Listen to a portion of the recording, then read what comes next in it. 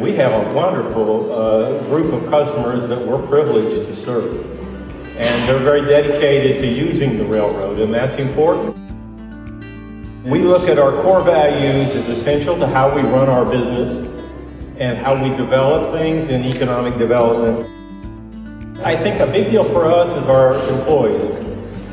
We, we look at things as a culture that if we take care of our employees, they will take care of our customers.